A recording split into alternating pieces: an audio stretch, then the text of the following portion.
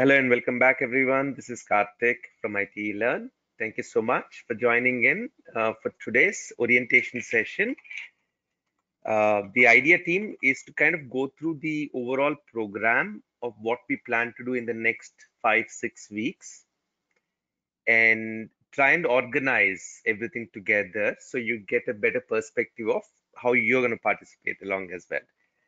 So while we are aware team that there are a lot of topics that we will need to cover as part of our training program. And though i can divide them into different tool stacks and technologies we will still have to go through them one after the other. So what i wanted to discuss today was how do we go about the flow of the program? Most importantly with reference to when we're talking about uh, all of these technologies, which one should we start at the beginning? Uh, what order shall we go? So that you are both learning, challenged, and comfortable at the same time to uh, be able to go with the program as well. I also want to talk about live trainings in terms of what you're expected out of it and how you can plan your own schedules based on it. We will also talk about project work team. This is specifically for the JPAC members and members who are looking for, uh, you know, job placements. I definitely would want to talk about when do we meet for the project works as a team and how do we discuss further.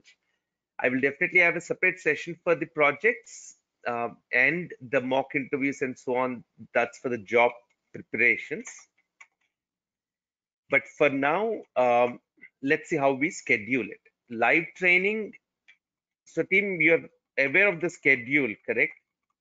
I'm putting it Monday to Friday. This should be for about five weeks, five to six weeks, team.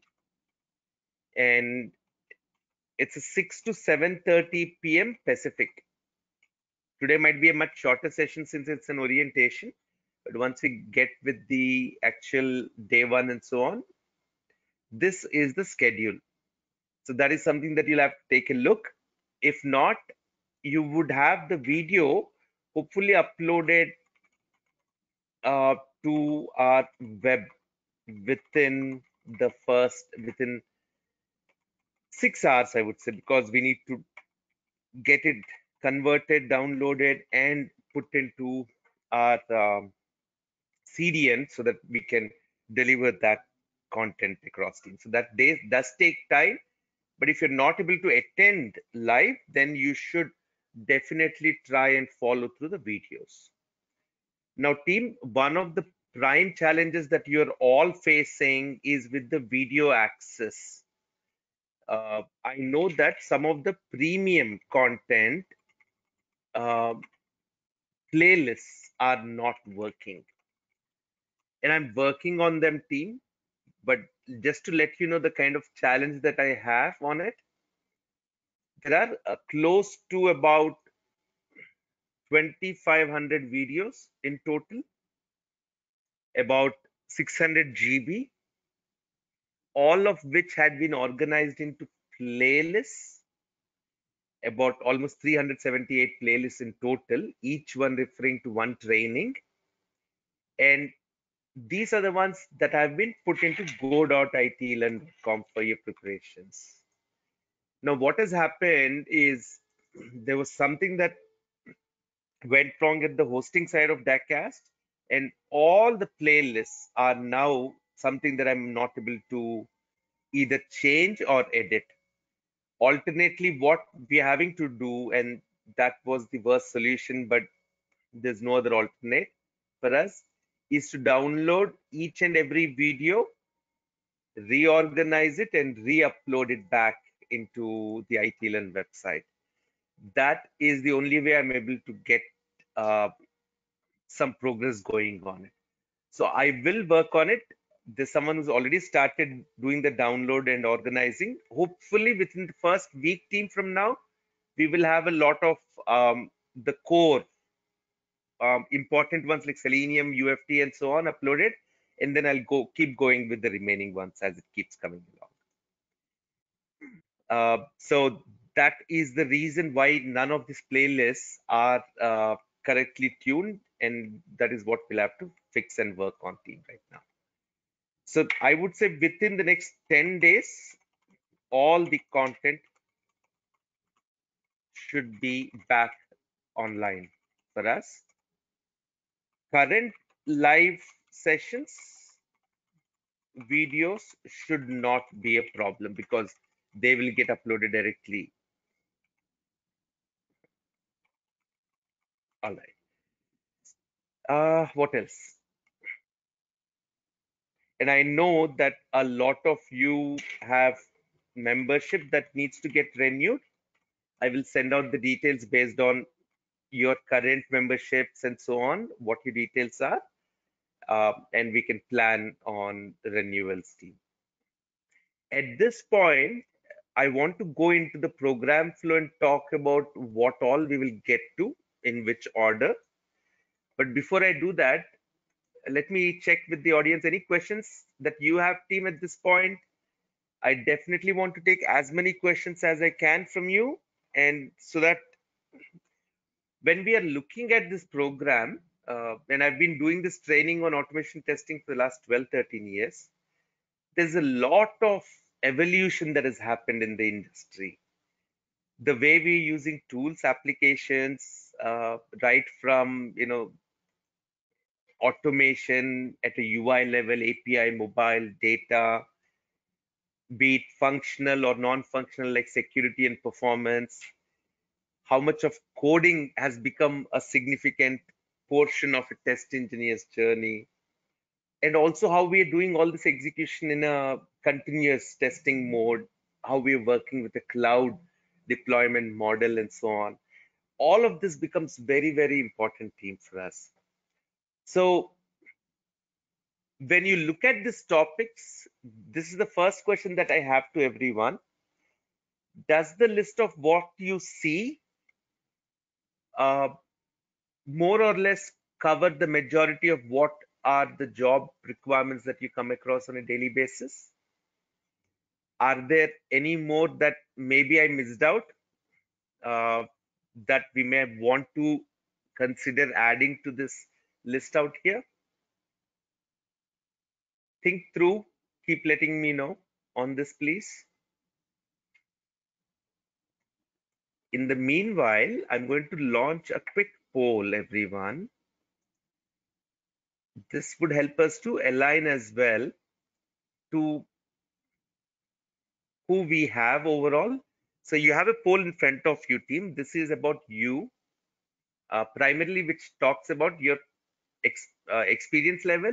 You're someone who's a beginner in the industry or someone who's gone through a training program or someone who's currently working in the industry but here to upgrade skills. Choose one of these options, please, from the poll, and I'll close the poll in the next five ten seconds.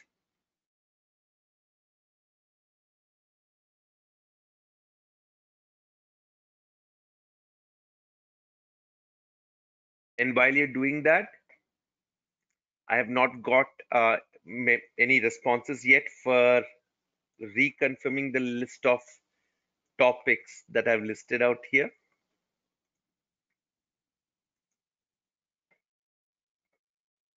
All right, I think we're good with the poll team. Almost 83%, 94% have voted in now. Let me close and share the results with you all. So team, um, I'm assuming the results are visible for you on your screen. So we have almost half of the audience coming in as a beginner, fresher, and uh, we have a few more, about 18% who have again been trained. 35% of you are currently working, which also means that you're upgrading to specific skills. Maybe you're into more manual testing or you're a functional SME uh, at a test level in your project and you're trying to learn automation. Or it could be that you're learning specific areas that you're trying to focus on. So either way, the approach for this program will be team. I'm assuming that most of you are going to be beginner levels. Please remember that anyone who's going through such a program, you may require to repeat the entire effort of training, practice, project work, mock interviews. Repeat it at least twice, team. The reason I'm saying it is, let me hide the poll. Uh, the reason I'm saying that is important is because even when I mean any one of us when we started something, there's a lot that we have to explore.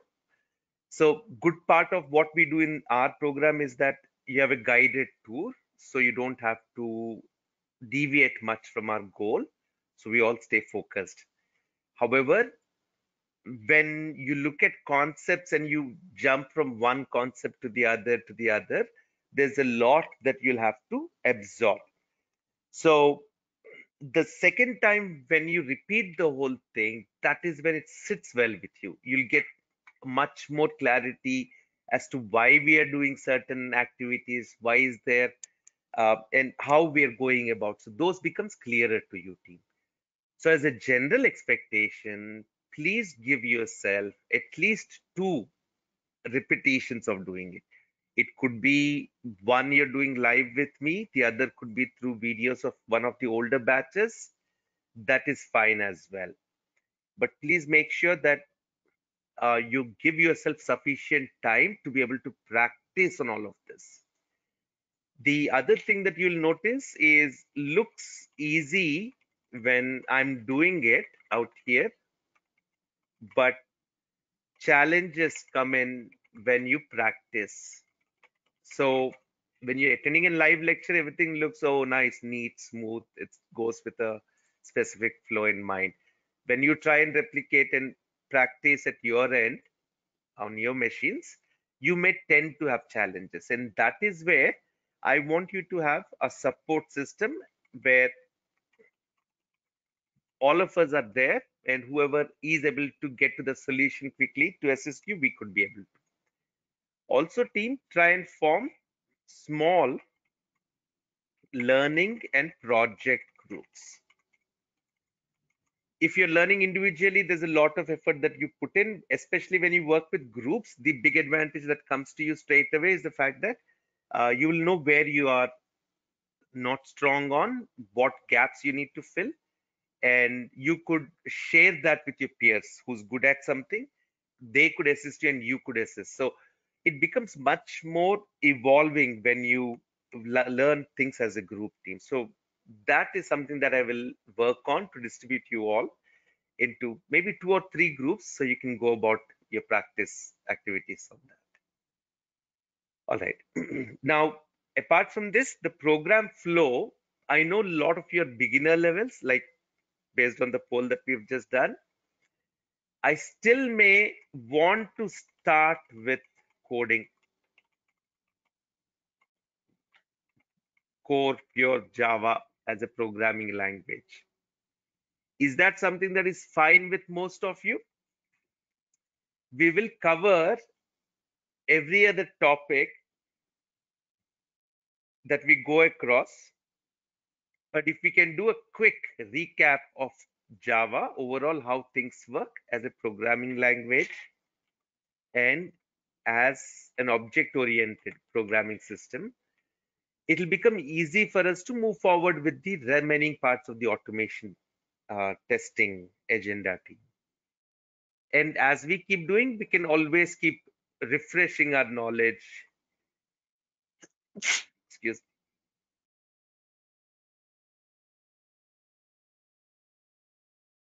On the same. Is that something that's fine with your team? Because even if I have to get to Selenium and teach you the automation part, I will have to go through the Java JUnit TestNG, uh, and then get into Selenium. So if that's fine, uh, at day one, let's start with Java coding. Maybe we'll take about five sessions to be able to get to a good level in Java. I wouldn't say an expert level, but at least get to understand how the programming system works overall.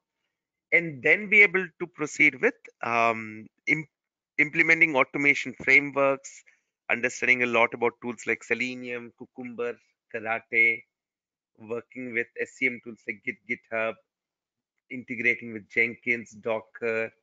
That will be a lot of fun team. A lot of exciting stuff that you will be exposed to as you go along. And I have been through this market and industry for a long time, team. The good portion of it is that it is most of these tools and technologies that come across, once you learn it in the right way, none of them are rocket science. They're built for simple users who don't have too much of coding or technical expertise. But however, the roles that we take on will require us to have a good control on programming. Uh, even if you may or may not end up doing hardcore framework or programming in your job, you will get asked on the same during your interviews. And that is where I would want you to focus. So anytime that we go through this learning, you may find that, okay, you know what, Java is easy. I got a good idea. But I'm now confused on TestNG. I got a good idea on Cucumber, but I'm getting confused on Karate. So absolutely do not be harsh on yourself in terms of learning team. Give yourself ample time. Some some of us may take three hours to learn, the others may take just 30 minutes to learn the same topic. So, but none of these uh, topics can be missed from your perspective. You will have to have them as part of your skill set. All right. So, question back to you. Are we okay to start with Java programming? Any concerns on that, anyone? I will make it easy, don't worry. And plus, from there on, it should be going into automation. We can talk about and we can come back to how it will fit into overall SDLC using Jira um, and agile methodologies uh, through it. Tim, I would love to see your responses either on questions that you have at your end. You're also more than welcome to raise your hand if you would want to be unmuted at any point and have a discussion uh, out here. And let me now put another cold uh, poll team for you so that I understand how much effort are we able to put into this. So what becomes important team with all of this learning, we're saying for the live trainings, it's about an hour and a half every day that you're spending. Plus you're going to spend about one to two hours of practice and assignment. So that is already something you're going to put in. If you're doing live projects, that's another one to two hours a day. If you're working on job placements, that basically includes your resume, mock interviews, um, your certifications, that will again take one to two hours a day. So there is effort involved. Um, while a lot of fun in learning these tools and technologies, there is effort that goes from your end. So how much time are you able to spend?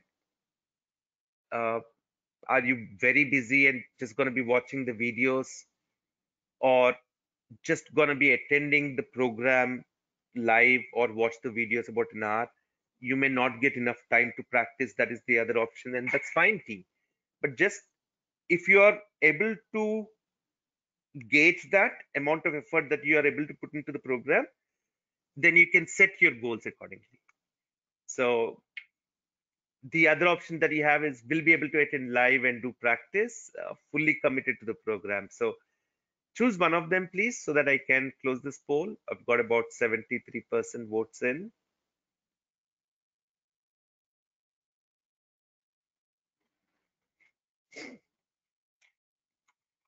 Java JDK.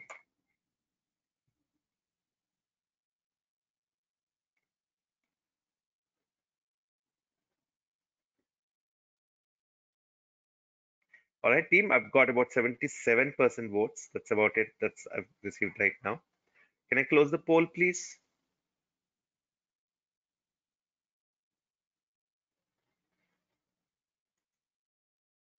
All right, let me share.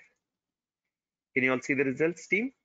So I see about 24% who are fully committed into the program. Thank you so much. I really appreciate it that you're able to put in a lot of time. And I want to make sure that the value for the amount of time that you're putting in should come out in a very positive way. 65% team of you uh, are able to attend live and do practice. So I'm I'm glad that that is very important. I don't know how many of you would be able to get a few more hours for project work, but that is definitely helpful. For anyone who's just watching live, absolutely not a problem. All I will request is keep a notepad either on your screen or in person and just jot down those keywords that you hear for the first time or something that is interesting that has come up. Uh, that will help you to refresh your memory when you repeat that training and practice at that time. So team, please do note, unless we go through the training, work on practice assignments and prepare our resumes and, you know, uh, get ready for mock interviews, you will not be able to see a lot of success. You have to go through that exact structure and let us not miss anything team we know exactly what the expectations are, what is going to come our way. We will need to prepare based on that. All right, so I've finished that part of the poll. I think I just have the last one. Did I do the expectations? No, about you, I did. So, uh, yeah, I think this poll team is a little bit more specific compared to the one that you did earlier. The reason is, again, from a timeline perspective, how many weeks or months do you have? Uh, with job market slowly coming back to some kind of a normalcy, a lot of IT programs and projects that were funded or not funded but are on hold have started back again. So you need to plan accordingly. Jan may be a great time, Feb may be a great time to get into the job market. Are we looking at it from that point of view? That awareness, bring it to yourself, team. So again, goal setting, this is, are you looking for a job in very near future or you've got about three months in it or you're not in a hurry for a job? The last option, of course, if you're already in, uh, you know, in a job, then you should be comfortable, hopefully there. All right, I've got about 73% votes again. A few more votes coming in. I'll close this poll, please. And the reason I'm doing this poll, team, so you also get to understand who else is participating in this program. And that will give you a good demographic. All right, let me share this. So mixed, about 44% are already working uh, and here to specifically improve on the skill sets on certain areas um, not in a hurry is about 11%, need a job, but about three months is 28%. So for those who are looking for a job urgently, team, you will need to maybe uh, do a little overtime on preparations, uh, especially uh, the job related, right? From preparing your resume, doing a little bit of mock interviews, what are your gaps in your skill sets, all this has to be start to be refined. So we have to get uh, into that action. So please plan accordingly this is a program that will keep going. You can get a chance to repeat it over and over uh, till you get a good grip on it. So team uh, at this point based on what we are seeing i would be starting my day one mostly tomorrow or day after with core java.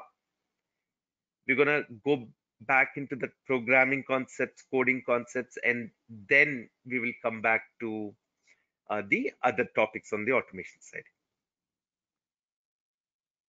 And what else did I, I, spoke about the challenges that we have on the video playlist and how I'm trying to get all of these 2000 odd uh, videos, uh, you know, back into action for us.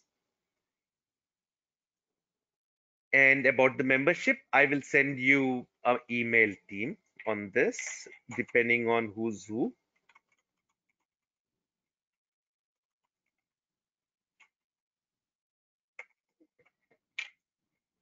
All right, that's about it. I have team.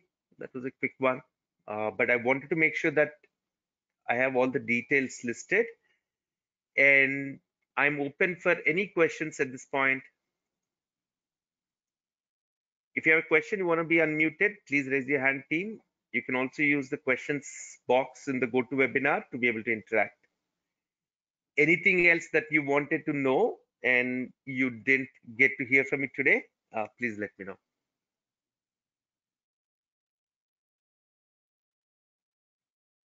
I usually see a lot of active questions coming in. I'm not seeing much of it in today's session.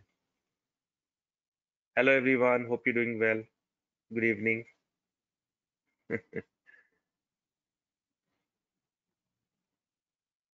Team, I see no no questions coming from anyone. So I'm assuming all's good and I will put the video up and send it across as an email.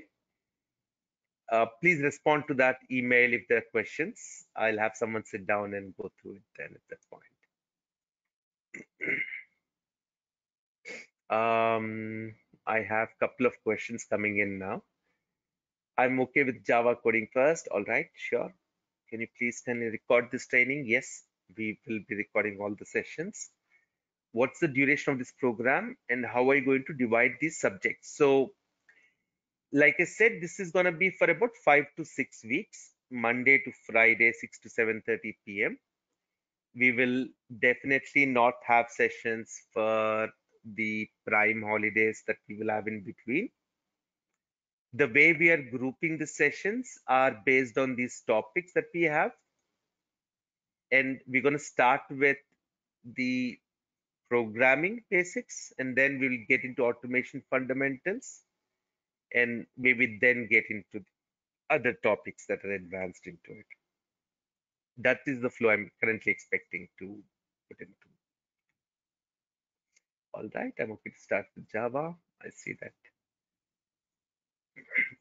yes, can I be able to reach out for help if got stuck with ports or other issues? So Kong, uh, yes, the way we can plan is one, we will have a group support. So quickly, one of us within our group can help, or you can always bring it into one of our live sessions and you can share your screen, show us where you're stuck and we will guide you. So any challenges that you're facing to your practice assignments, um, you're more than welcome to bring it up team and that is the reason I've given this as a one and a half hour session rather than one hour. So at least even if I have a 60 minutes of lecture, I can do 30 minutes of Q&A on specific topics that you're stuck on. What are the system requirements to install the tools? So primarily team, if you have a Windows or Mac with a 4 to 8 GB RAM, I would suggest you should be more than enough but then there are a lot of softwares and tools that we need to install one after the other so for example when we're getting to work with java there'll be a couple of softwares that we will install. So we will go through them what we need to install when for each of them. And we'll be creating a lot of documents and code uh, through this these lectures. So you will be able to have access to that as well. Okay, Sri, I'm just looking at your question. Uh, BTech grad, worked for two years in QA in 2012. After this training, can apply as fresher and get job. You don't need to apply as fresher. You, if you get a chance to work on a couple of projects with us in the next three, six months, then you could always show that in your profile. And you also worked earlier, Sri, for two years in QA, right? So that uh, will still be valid. What would happen is, yes, you will have a gap, a long gap in between, but that is not uncommon. We see that pretty often in today's market. A lot of individuals have taken career breaks and come back. So it should not be a big challenge. But again, team, what is important is our skill set, resume, how well we are preparing ourselves. Karthik, I'm ST, I'm unmuting you. Your hand is raised. Hello, uh, good morning, sir. Good good eve- good morning to you. Yes, Uh, well, uh, I just wanted to know if this uh, course is suitable for freshers also. I'm just uh, graduated out of college Hmm. A- and Absolutely. So the the reason I say it is suitable for freshers also primarily is because um, the topics and the way they're structured. So you okay, definitely need to learn a few things that you're not exposed to, maybe depending on what you did in your graduation. Uh, yeah, but I'm once from a non-IT background, so Mm. so and that is the reason I was saying give yourself two attempts. One of the fundamental mistake we do is we try it once and then we don't uh, continue our effort. So give it a couple of yeah, attempts of training and going through the same structure. It should never be tough from there. okay. And uh, after this uh, course completion, uh, is there any certification provided or something like that? or any Right. certificate? There will be three certifications, in fact, one for training. The other two are actually for any NEOT project certifications.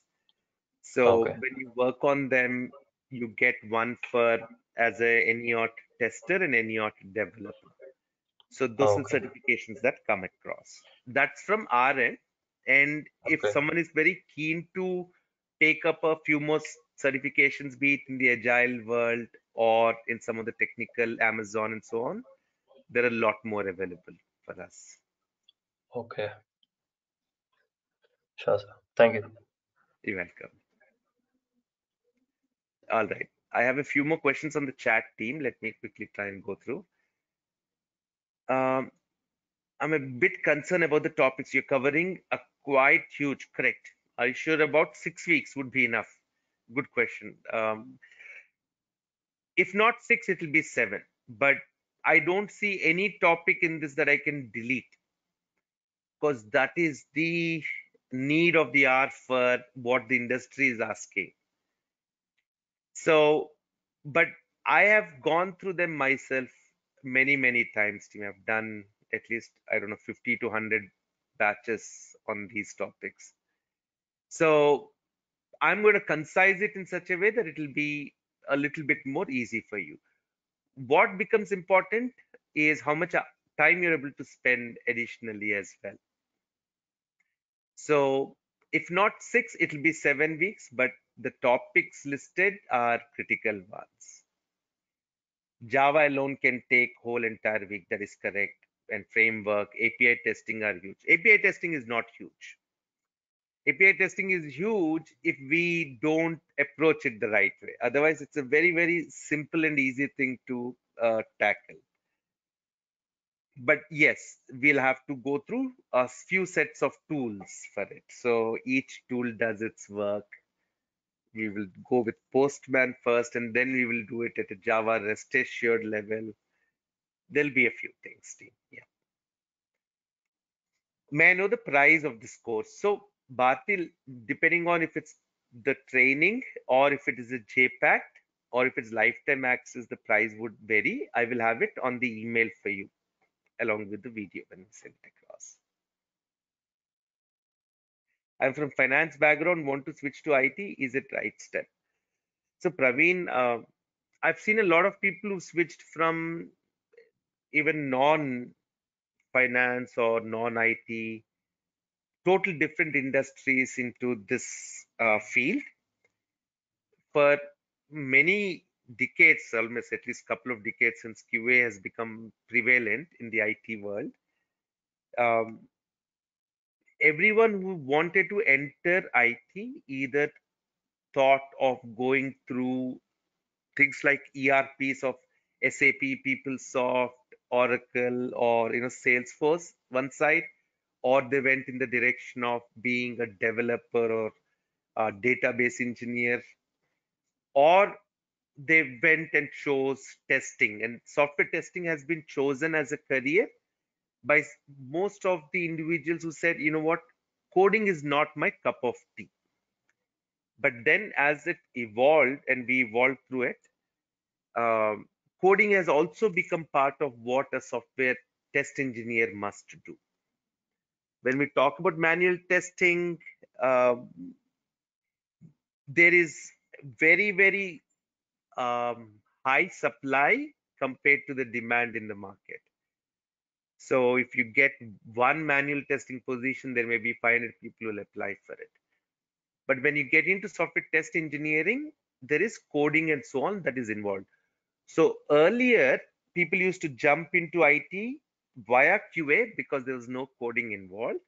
Now even developers are making a switch into software testing and using the title of SDETS, uh, software development engineering test. So that becomes very uh, something that you need to take a look at. Team. Okay, so you are going to learn a lot of things. So irrespective of what background you've come from, you will see uh, you getting exposed to a lot of new skills in it. All right, Praveen. So is it a right step? It is never a wrong step. It is just about you know how deep you want to go, how far you want to go.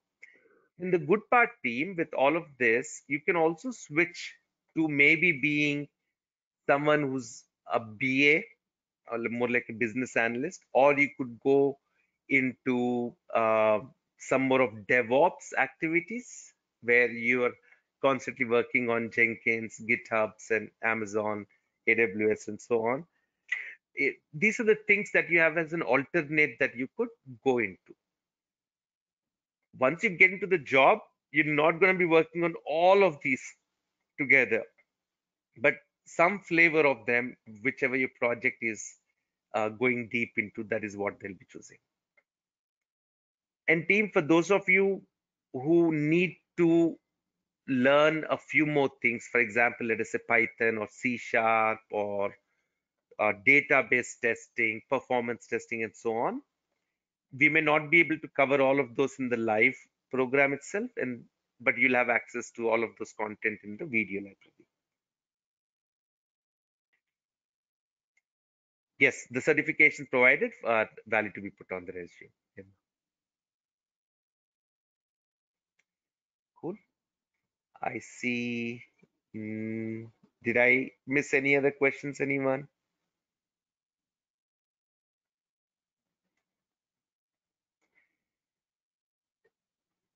Are we good for now then, team? So I will send you this video also along with the instructions for the next steps.